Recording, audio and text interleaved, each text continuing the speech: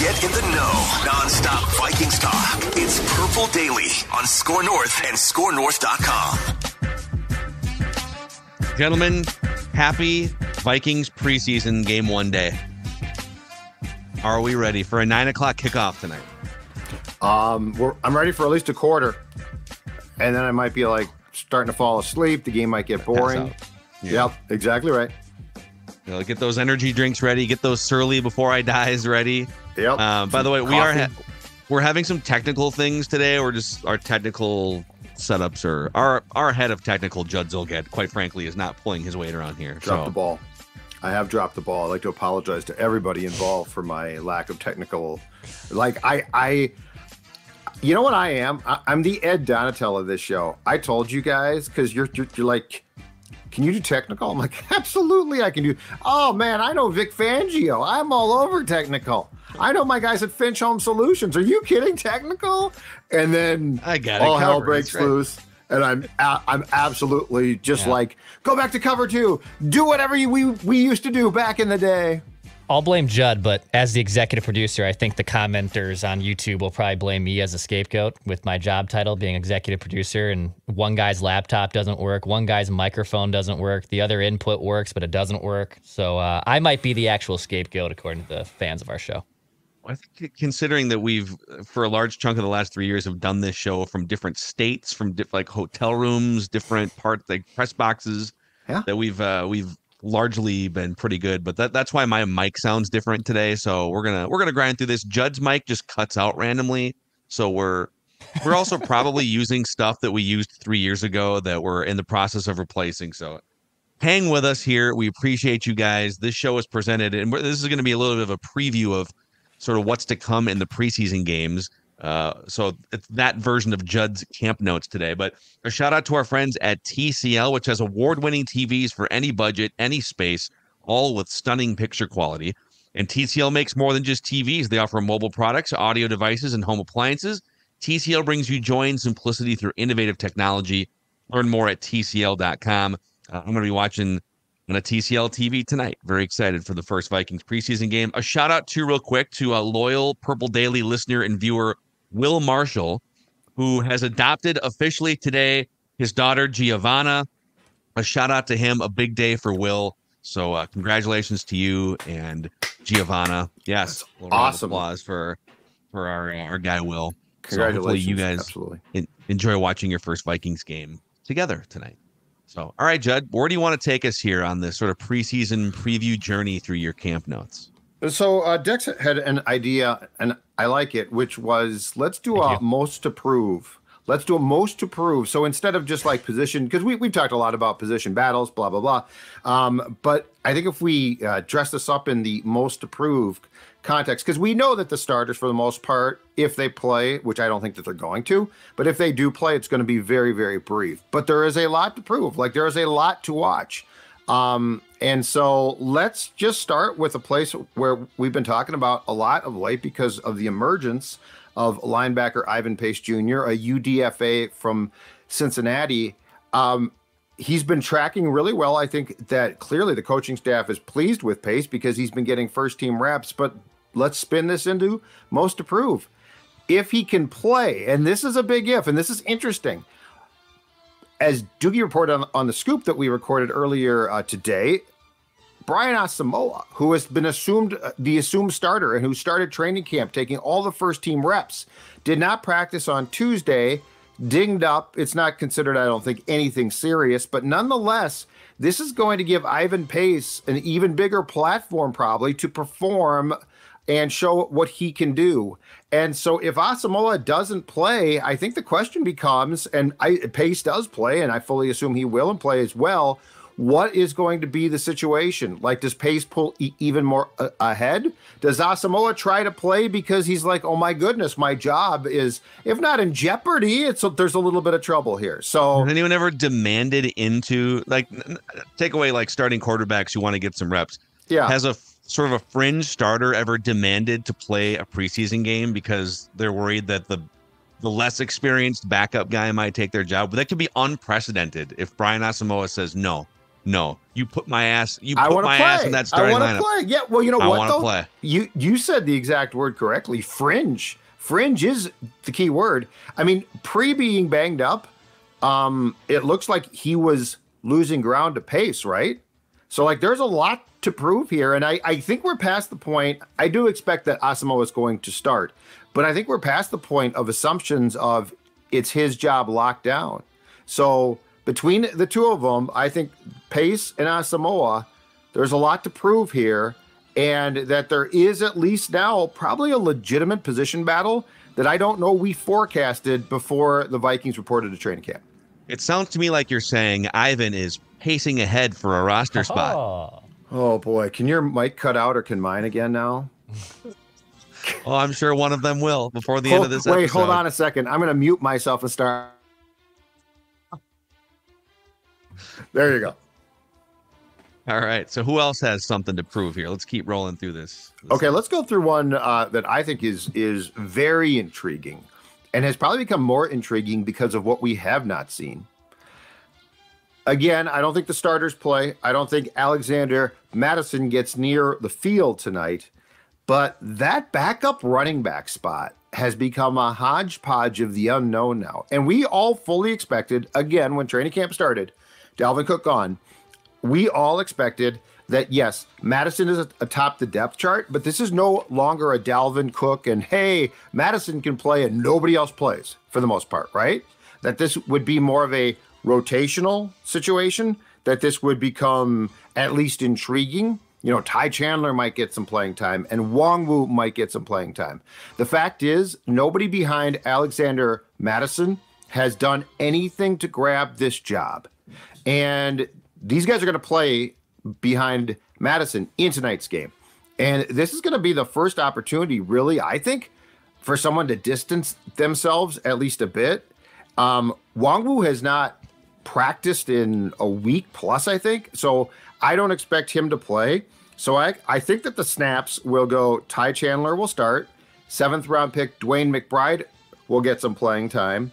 And coming from the rear, but having a chance here to impress, former DC defender, the leading rusher in the XFL this past spring, Abram Smith. But, you know, for all we've talked about, it's going to be a rotation and guys are going to, to play. And Phil, you, you've been out to practice a couple times too. Nobody has grabbed that job or even come mm-hmm. close. Nwangwu is listed second on the depth chart, which didn't surprise me, other than the fact he hasn't practiced.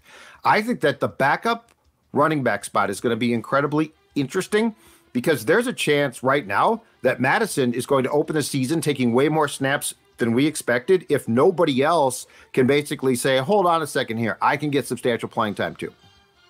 So maybe it's yeah, maybe it's not the running back by committee that uh, that we all thought, based Yeah. on not, less about Alex Mattison being the, you know, the the bell cow. That, but you know what? If you're Alex Mattison, you've done this before too. You've had stretches where you've had to be sort of a bell cow for a month because Dalvin Cook's out. So Mhm. I don't think, I don't think he's stepping into the shoes and just filling, you know, the peak version of Dalvin Cook that we saw for all those years. But if he needs to be a bell cow for a month while they figure out you know, catching another one up to speed or signing somebody else, you know, it's not the end of the world. I don't think you have to go in needing one of these other guys No. to carry the ball, you know, 10 times a game and play 30 snaps or whatever. it, it just flies in the face of I think what we expected. Like I, I think we, we expected, hey, it's going to be um, uh, you know two or three guys playing more now, and at this point, I honestly, unless something changes, and it might drastically in the next few weeks, I wouldn't feel super comfortable putting like Ty Chandler there. And I don't know, you know, I, I think we talked about this earlier in the week, but his pass protection skills don't look up to speed. McBride, we've talked about, has a problem with fumbling, and he's a seventh round pick. If you expect him to be great in pass pro, that's probably a big ask too. So it just sort of shifts what the thought process was going to be. Not to say that M- Mattison's going to become Dalvin Cook, but I don't know that there's a guy that the offensive staff and O'Connell in particular would be comfortable utilizing consistently. And tonight sort of gives them a chance to to assert themselves as, hey, at least I bel at least I belong, especially in Chandler's case, second on the depth chart. You know, you all laughed at uh, Dex tweets last month and write that down when I said Ty Chandler wouldn't make the Vikings 53 man roster. And I'm sure he's not uh, uh, uh, for sure locked to be in or out, but I will say his stock has 100% fallen or taken a step back since training camp has started. As RB2. Is that fair to say? It's It taking a hasn't step gone back. up. It hasn't It's gone take- up for sure. Step back is fair. Step back is fair. I, I I would be shocked if he didn't make the roster, but yes, I expected. I thought that when camp started, it would be Mattison, some combination of Nwangwu and Chandler, but that those guys would look more prepared. And in both cases, one because of injury with Nwangwu and one because of probably deficiencies. Yes, Declan, you are you deserve a pat on the back, sports son.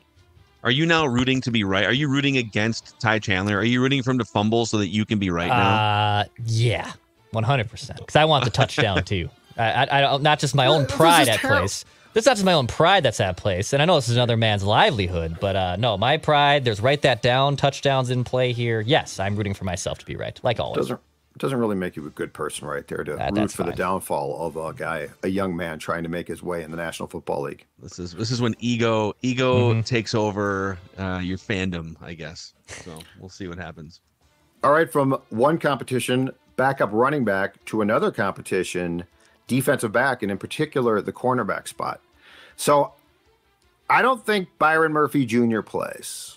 Like I, I don't think that there's a need. He was injured last year. You certainly don't want to tempt the injury gods. But after that, I'm very curious. Um, I think Akayleb Evans is probably safe to say has locked up a starting spot, but he's only going into his second year. So I'm, I'm not going to be shocked if he gets a few series tonight. But as far as the prove it thing goes, okay, here's one for you. And I'm assuming he plays, was banged up, but is back at practice now. Andrew Booth Jr., prove it. Like, dude, you've been second team since the offseason workout started. You're a second round pick.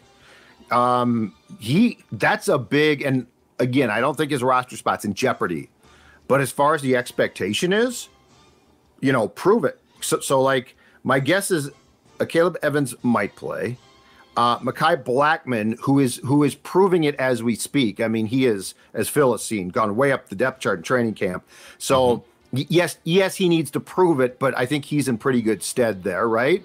Um, Joejuan Williams started in the nickel with the first team, is now in the second team, but I think that's also a sign of what Blackmon has done. So I would say that the one guy who needs to be challenged, Booth, he is a guy who so far, because of injury especially, but probably playing time as as well, um, definitely has not achieved what this coaching staff thought. So if there's a prove it tonight in the defensive backfield at corner, it is Andrew Booth Jr.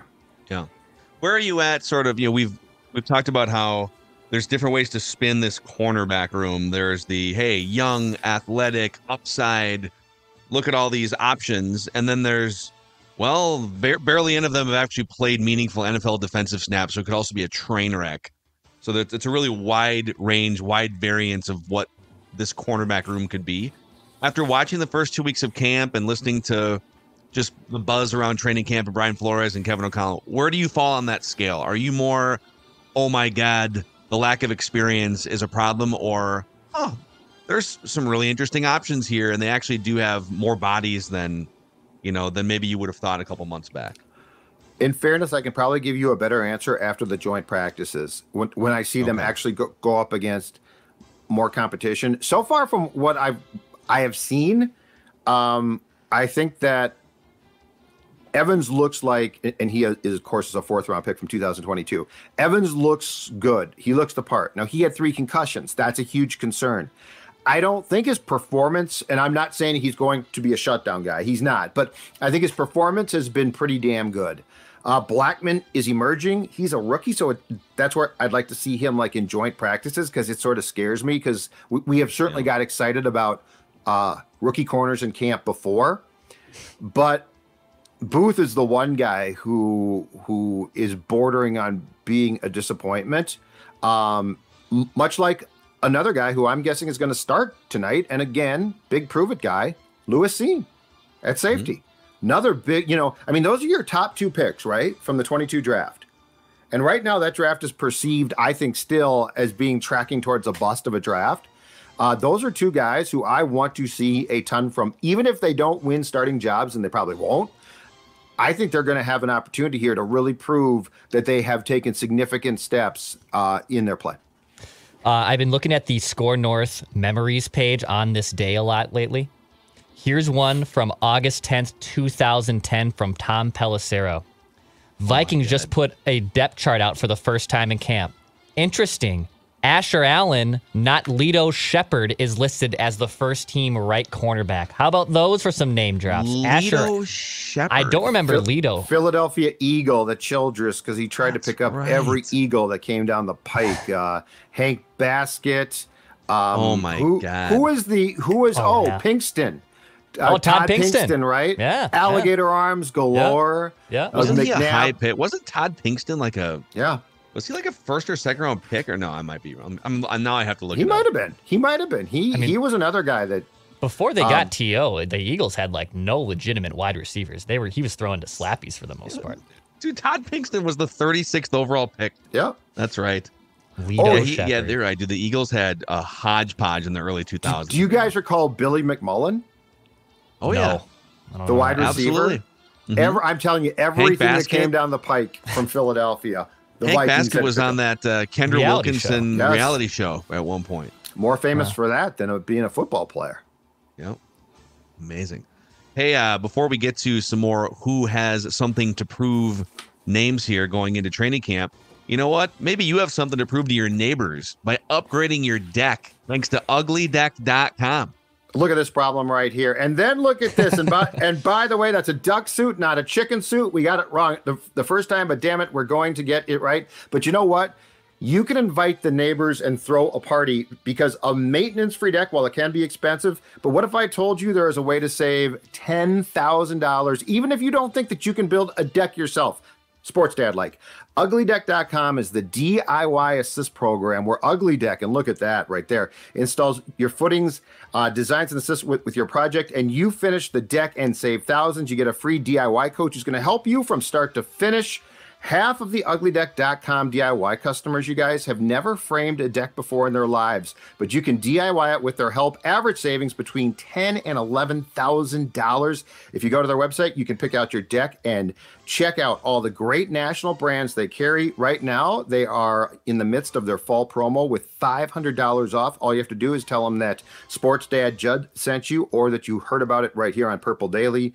Late summer and fall, perfect time to build a deck. So get started now on their website. Go to uglydeck.com and click on DIY. Also, EcoFun has a fun little uh, soiree coming up this Saturday. The EcoFun location in Burnsville, which is celebrating one year since opening.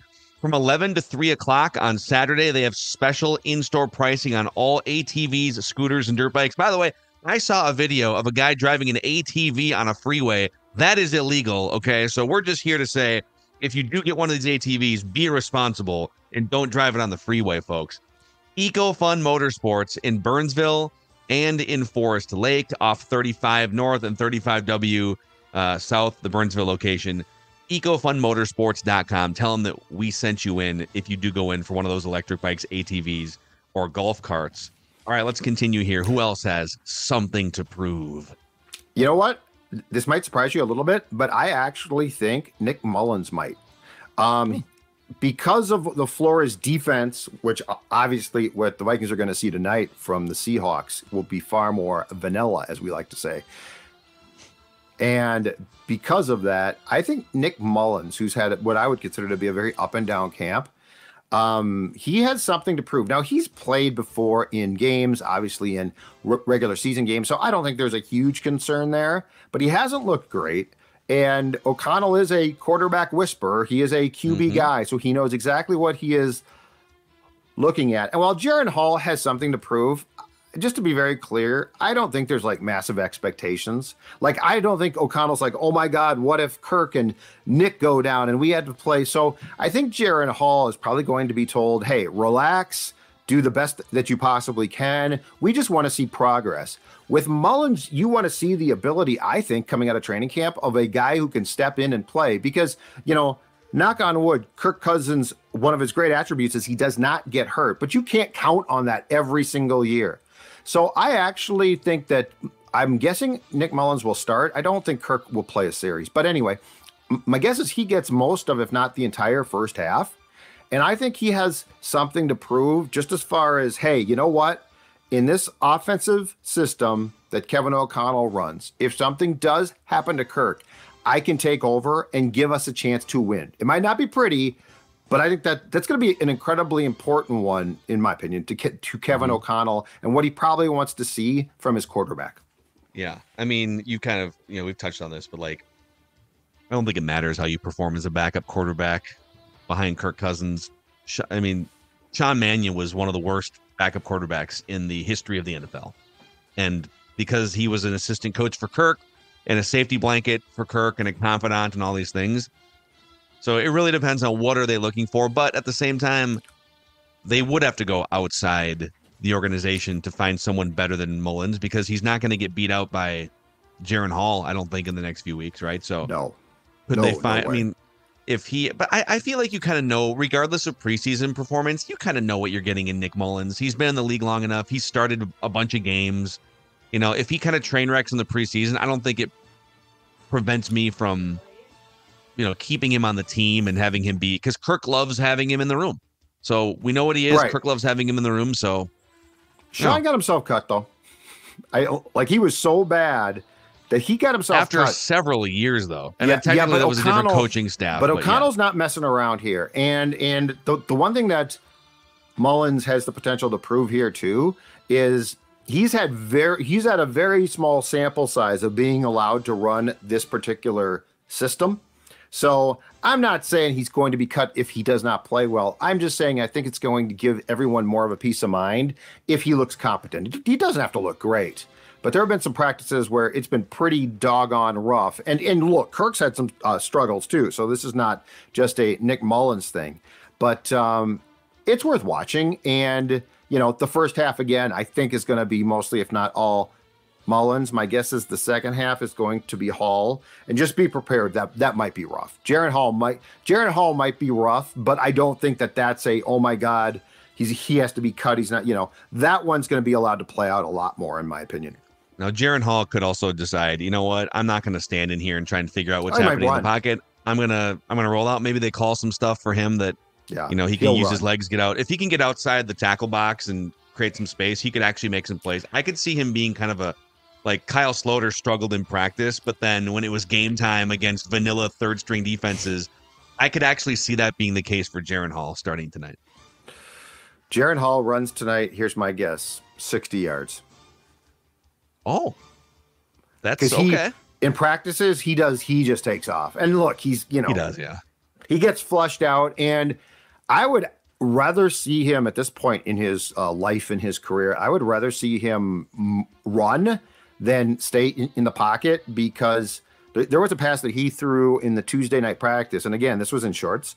Um, he threw a pra- he threw a ball in the practice that sailed uh, over the receiver's head by a substantial amount because he essentially gets happy feet and he doesn't plant his feet.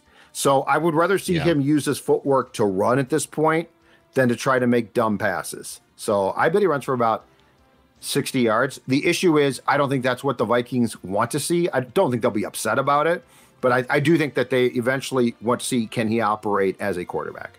This was exactly the problem he had in college, too. Clean yeah. pocket, one of the best quarterbacks in the entire country. Pressure, muddy pocket, happy feet. So if you were struggling with that in college, and we detailed all this stuff when he was drafted, that's why he wasn't first or second round pick. That's why he was, you know, a fifth round pick. If you had struggles with that in college, imagine what it's like in the NFL when you're. It doesn't mean you can't overcome it, but it just like the tsunami of speed processing information. Yeah. So, but yeah, it'll be it'll be fun. It's always fun to watch new young Vikings quarterbacks to see what they what they look like, and then call for them to start. Yes, the minute Jaren Hall plays the well. minute that Kirk Cousins you got to think about. I mean, you got to think about starting him, don't right? Right? Yeah. All right. Uh, who else? Who else yeah. needs to prove things? Uh, let's continue on the defensive side of the ball. Let's go to the um, outside linebackers, aka pass rush specialists. Danielle Hunter ain't playing. Marcus mm. Davenport, I don't think plays. I can't guarantee he doesn't, uh, depending on where the coaching staff thinks he is. But Um, the one that I, I want to point to in particular, I think, because in my opinion, he's in a pretty crucial year now because he's not young, he's not old yet, but it's Patrick Jones the second. Patrick Jones the second, if you watch him in practice, just from a physical standpoint, six foot four, 264, okay? And I, I think Phil will back me up on this, just totally looks the part. Like from a physical, he just Physically, looks he does. Yes. And I think this is a pretty crucial year. This is definitely a year where he should say, you know what? Davenport is on a one year make good contract. And if he makes good, he's going to get paid. Danielle is now on a one year contract. And there is a fighting chance that both guys could be gone, right?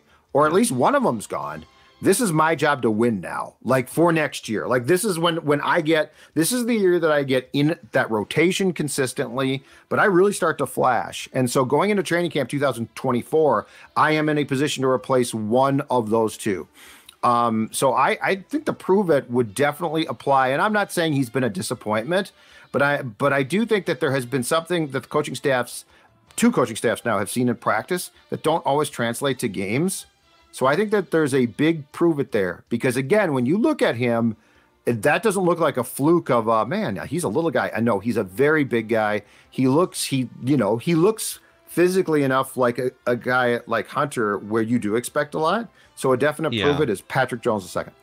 Is he? I think the question is, is he a jag? You know, is he just a guy that he's you? You need guys like that on your team, and as a backup who plays a few snaps here and there, or maybe 25 snaps a game, awesome. He might get you a couple pressures, or is there another level there, like you're saying that with the right defensive system, and now another year in the league, could he be a guy that starts and gets 70 pressures in a season, right, over the course of you know 16, 17 games? Mm-hmm. And I, right now, I would probably lean. He- He's certainly not a guy that you're going to cut. I don't think, but I don't know that he's a guy that's in danger of. If you if you're looking for a real dude at edge rusher, I don't think he's close to being a starter unless he takes major steps here. So, but yeah, like when you just look at him, he looks like a machine. He looks like Danielle Hunter in some ways, in terms Yeah. of like physique and muscle build and everything. Yep. So I, I am curious to see him as well. I got two more for you. Mhm. The depth wide receiver competition is on. So Jordan Addison, LFG. according to O'Connell, is going to play. I guess he'd play a series. Like I don't know how much he's going to play, but he's going to, to play. And obviously, unless something changes from a physical standpoint from now until uh, September 10th, J- uh, Justin Jefferson, who won't play, KJ Osborn, who I'm guessing won't play, Addison have this team made. So those three roster spots are not in question. But the guy who's been absolutely flashing at times and standing out, Brandon Powell. Now, what makes this interesting is, as I predicted, Phil, when we did our when we did my uh, last 53 cutdown a couple days ago on PD, I said Brandon Powell's going to make this team, and in my opinion, Jalen Reagor will not. Brandon Powell can return punts, potentially kicks, and just flat out, I think he's a more reliable receiver as far as being at the right place at the right time. So I think this game gives Brandon Powell, who I'm guessing is going to start, a chance uh, to to prove even more that he belongs, and it gives Reagor a chance to respond. And keep in mind, if I'm not mistaken, Jalen Reagor is guaranteed 2.4 million dollars no matter what. So, like the Vikings probably aren't itching to cut him, but I do think that at this point he is an odd man out.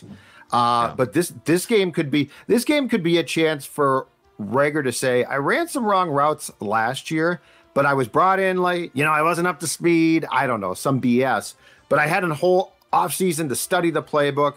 So I do think that these games and the joint practices are going to be extremely important from a prove it standpoint to Jalen Reagor if he wants to hold on to a job, at least past the point when Jalen Nailor returns, because he's still out. He has not practiced since the first practice of training camp. I do not expect him to play. Uh, but I think number five, Jalen Reagor, is a big time prove it guy right now. Okay. I mean, just to put this into context, if Jalen Reagor, who was a top 20, was he like the 20th pick, 21st pick, top 20 ish overall Pick pick? before pick before Jefferson, right? So Yep. he was, and, and, and, you know, the Vikings, they didn't just like pluck him for nothing. Like they gave up some draft capital to get him, right? if that dude can't go out and slay in a preseason game. And I know that you're playing with some backups on your team too, but if he can't go out there, get some separation, run some routes, and catch about six passes for 90 yards in a preseason game against backups, then what are we doing here? Yeah. That's kind of where I'm at. So it is, it is, it's kind of prove that you can do something on offense. I need more than just like being Poke able to the stick, the nervously catch a punt while you bobble it. Like run a route against a backup cornerback is what I want to see here. Kyle. Uh, all right, the final thing, the final um on the spot, the heat is on, the pressure is mounting. It's time to prove it. Declan Goff's favorite position, the kicking position, okay? And, and we touched on this briefly on Wednesday's show. Greg Joseph, it sounds like is going to be is going to start kicking. I don't know what the kickoff rotation will be, and quite frankly, I, I don't know that that's important. But the field goals and extra points obviously are incredibly important. And Greg Joseph sounds like he's going to get the first crack at that tonight. When, if and when Jack Podlesny gets a chance, now that they could they could have Joseph take the first half, Podlesny the second. They could have Joseph take this entire game, Podlesny the second game. Who knows? But this is incredibly intriguing again based on what we've talked about before which is last year when training camp started there was a punting competition. And mm-hmm. i for sure mocked it. I think that we all sort of mocked it. And in the end ryan wright emerged and won that job. So i'm not dismissing podlesny especially if he shows a big leg 50 plus yard field goals consistently. And of course extra points. I'm not dismissing the georgia kid as having a chance to win th- this job. But long story short, I think this is worth keeping an eye on, and I think it's going to be intriguing. And I don't think that this is just a favor or a camp leg. We're going to bring Jack Podlesny in. I think this is an actual competition. Now, Joseph might win it, but it's worth monitoring. and it's the right move. It's the right move. So let's see these guys in practice. You know, I, I, it's it's it's tough. Like there are some fans there and stuff, but this is an actual game scenario. So this is probably where they're going to be judged. Like I think the stuff that happens in the preseason games for these kickers weighs a little heavier than the stuff that happens in practice because you know it's more of a a real simulation, if you will. So Yes. there's list. Hey, hit us up in the YouTube comment section too if you have other names that we should be keeping an eye on closely, or if you have names of people that you want Judd to throw in his camp notes here in the Just go days. watch. I'll just go watch them the whole practice. That's what it is. Bombard Ham. Judd with who he should be focused on, fixated on here. CJ Ham's not playing right. He I doesn't don't play think so. games. No. He's too much of a veteran right now. Yes. I think you're right. So good stuff, Judd. Good stuff there. Uh, if you guys want here, old Macadac Yeah. has a random Viking of the week. Oh, yeah. You want to get after it? Judd versus Declan here because uh, I lost last week, so losers out with the new rules. And uh, I finally got around to splitting up the statistics into all-time statistics and the new era where we all compete against each other. All right. So in the in the new era, Judd and I are tied with three victories. Declan has two. Declan, you can even it up here if you beat Judd in random Viking of the week today. Okay. Presented presented by our friends at Livea, helping Purple Daily listeners get in the best shape of their life. I mean, look at that guy right there. That's a sports dad. You know what the difference in sports dad there is? Down 40 pounds. That's right. That's a couple years ago now, a year plus, uh, dropped 40 pounds thanks to a program that I'm going to tell you right now, a weight loss program that works. This isn't a quick fix diet. This is not a temporary solution. This is a program that's going to help you drop the weight and most importantly, keep the weight off. And right now, if you sign up, you are going to get three months free. That's right, three months free. Imagine that. Call now. You're going to lose up to 10 pounds or more in the first two weeks. In the first two weeks, and we're talking three months free. We're talking three months ramp up time. You're going to look great. You're going to feel great. All those clothes that don't fit right now, guess what? They're going to fit, and then you're going to continue to lose the weight and keep it off. 855 go L I V E A, livea.com, L I V E A.com. Again, first three months free, voted Minnesota's best weight loss program year after year, livea.com. A shout out too to our friends at Summit Orthopedics. Whatever you may be dealing with pain wise, from the ankles all the way up to the neck, no referrals are needed to stop into Summit Orthopedics, one of the 25 locations in the Twin Cities and greater Minnesota. Same day appointments, and they offer walk in urgent care seven days a week starting at 8 a.m. Learn more at summitortho.com. Summitortho.com. All right, boys, I have a series of clues.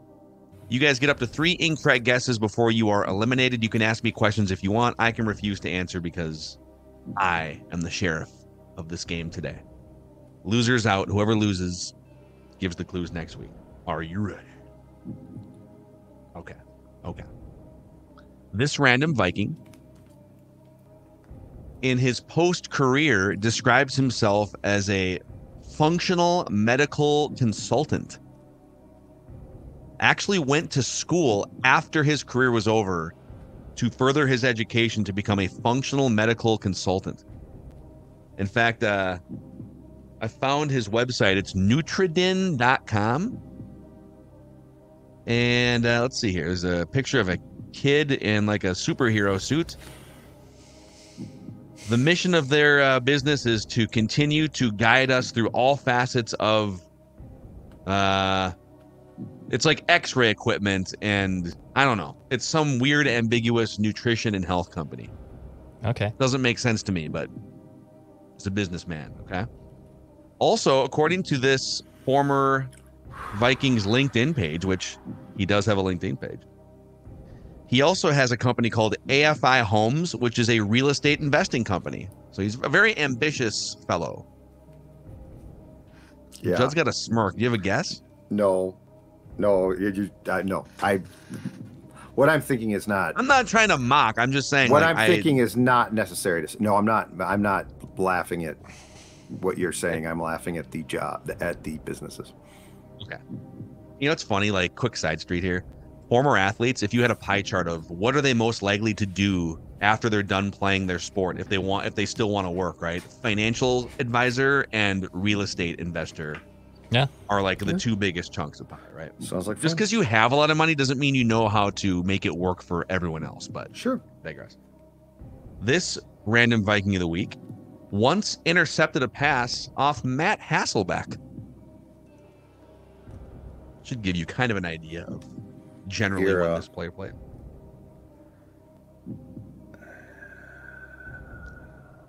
This random Viking. Oh, where should I go here? Let's go there. Let's go here. 21 starts. 21 starts with the Minnesota Vikings in his Vikings career. Okay. But what the crazy thing is, so this random Viking had 21 starts with the Vikings, Mm-hmm.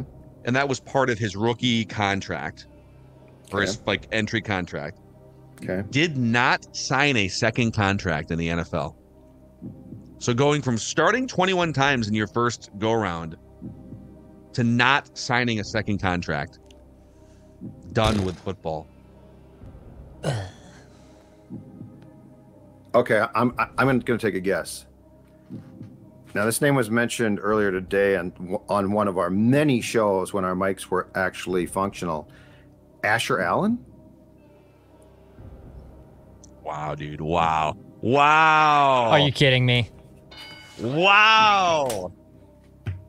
Because Dude, I He was had- mentioned on this show. He was mentioned on this because he show. retired. Did you have He that? did retire. Did, did you have Asher Allen queued up before I said the the, the, the memory?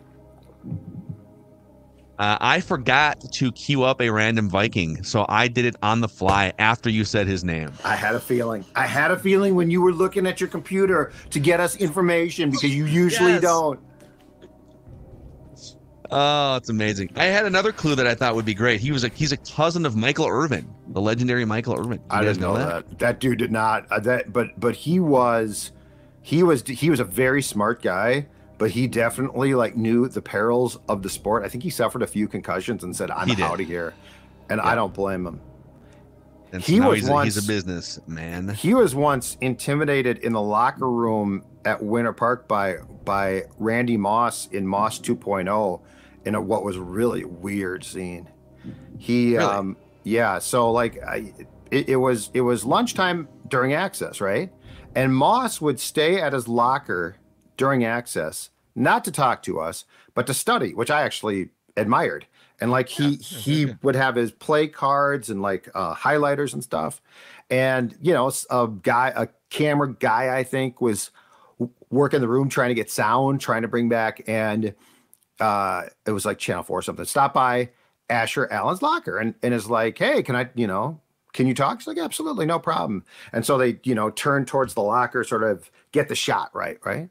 They get done, and Moss is like, don't ever have that camera turned towards me again to Asher Allen. He's like, don't ever Oh. turn, don't ever turn towards me, man. Don't ever do that or something. Okay, guy. Randy Really, needs to calm down. It was really well. That was a that was a very um, turbulent time, but nice guy. But yeah, Uh, Declan's is- so mad because you said his pissed. name early, right? You're the one that said his name. Sometimes Declan's mad about this, and sometimes he's not. Declan's pissed right I'm now. pissed about this one. Yeah, that's really upsetting to me. I, I thought I don't feel bad because you used Ramon Ortiz, and I didn't have a chance to yesterday. So So congrats to Judd. Another victory. His uh, 56th all-time victory in random Viking of the week here. And uh, yeah, we're not going to do event line late tonight. We will do our live 10 o'clock a.m. Friday stream on the Purple Daily YouTube channel to recap what we saw. Vikings Seahawks preseason game number one. Thanks for hanging with us here. Purple Daily, daily Vikings entertainment. We just want the Vikings to win a Super Bowl before we die.